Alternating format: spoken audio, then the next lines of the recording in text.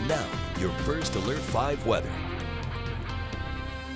We are tracking some light showers and thunder showers here in southern Colorado. We're going to start off in the southern Sangre de Cristo Mountains at this hour where we have an explosion of lightning here just in the last 30 minutes with this cell as it continues to move closer towards the New Mexico border, that being on the eastern side of San the San Luis Valley. But we are watching this area also, which is a flood advisory until 745 this evening. We had a thunderstorm that moved right over top of the spring burn scar, and we're always watching these scars because the soil is just so loose and any little bit of rain can, can could potentially cause a little bit of flooding there. We also have a thunder shower here as southern wet mountains that is now starting to die off traversing over Cross of Pueblo and Colorado Springs. We're now looking at northern El Paso County. This is Eastonville right here as we're watching some of these lighter showers move into the northern part of the, of the county and even a couple of strokes of lightning. But as we head, follow this all the way back up, up towards the Pinery and Castle Rock and out towards Elizabeth, it's still a pretty good line of showers moving through.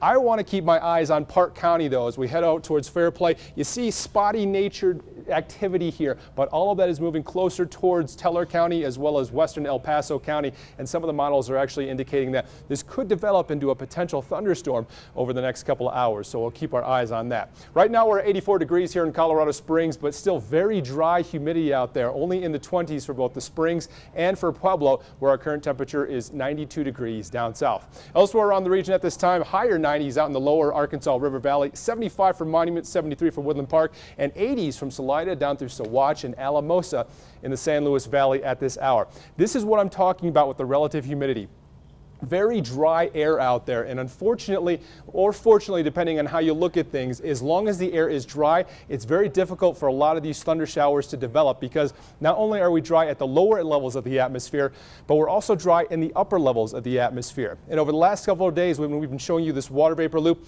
you've seen just a tremendous amount of moisture here. But look at this black streak here as it curves up from the Pacific Ocean through California, Nevada, Utah, right into Colorado. This is drier air working in in. So if we're dry at the surface and we're also dry in the upper levels, it's very difficult for us to really get any showers and thunderstorms to develop here and be sustained at that. So as we head into the overnight hours, we're going to keep watching these thunderstorms. Here's what I'm talking about, that little bit of energy as it moves through Teller County and western El Paso County around 8 p.m. And eventually this could develop here into a pretty good line of showers and thunderstorms by around 11 o'clock. So we'll continue to keep our eyes on that as we head into the overnight hours. Forecast details look like this on the seven day. 90 for tomorrow afternoon.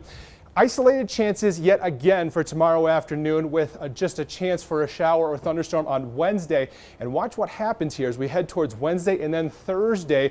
You notice the drop in our temperatures about 5 to 10 degrees in some locations. The area of high pressure will start to move off to the east. And what that means for us is increased moisture flow on the back side of that with the monsoonal moisture and also an increase in energy in the atmosphere. So that means also an increase in chances for showers and thunderstorms.